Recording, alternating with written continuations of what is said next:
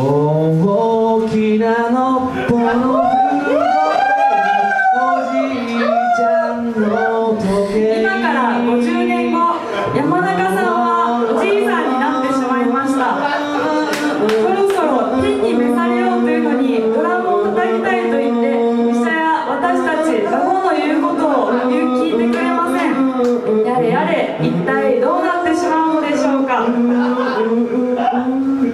はあ今日は久しぶりのライブじゃんお前たち孫二人と看護師3人。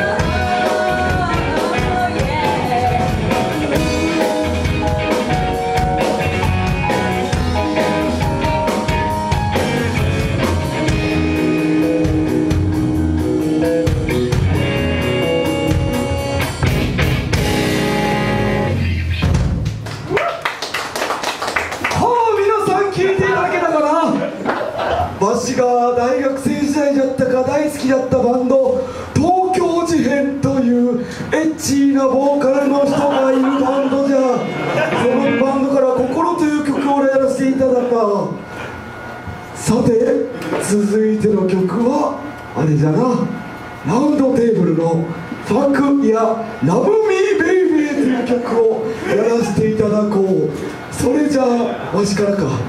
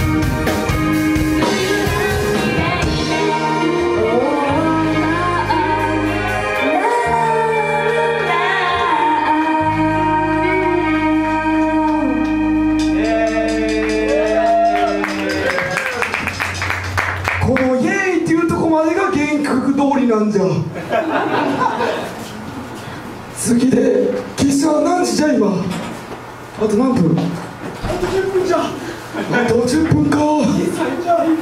楽しかったライブもこれで終わっちめしまうの。わしはもうすぐで天国行ってしまうやもしれん。これで最後のライブかもしれん。なんで皆さんもどうか聞いていただきたいです。はいどうも。あと、えっと、一緒に組んでいただいた君たち先輩の道楽に付き合わせてごめんなさい。じゃあ行きましょうか。若返りましたよ僕は。美佐子行くぞ「